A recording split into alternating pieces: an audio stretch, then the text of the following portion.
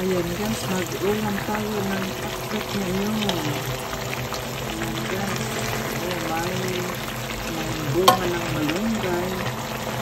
At saka, hindi ko nilagyan karne ngayon. Ang nilagay ko ay dilis. Ayan.